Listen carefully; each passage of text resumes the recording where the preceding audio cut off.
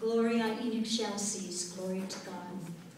We're moving on now um, to a piece by American co composer Aaron Copland. His only full-length opera, The Tender Land, written in the 1950s, tells the story of a young girl, Laurie Moss, who grows up on a Midwestern farm about to leave home. The promise of living comes from this opera and has become a choral favorite. At the close of Act One, three generations of the Moss family and hired hands sing this hymn of gratitude for life.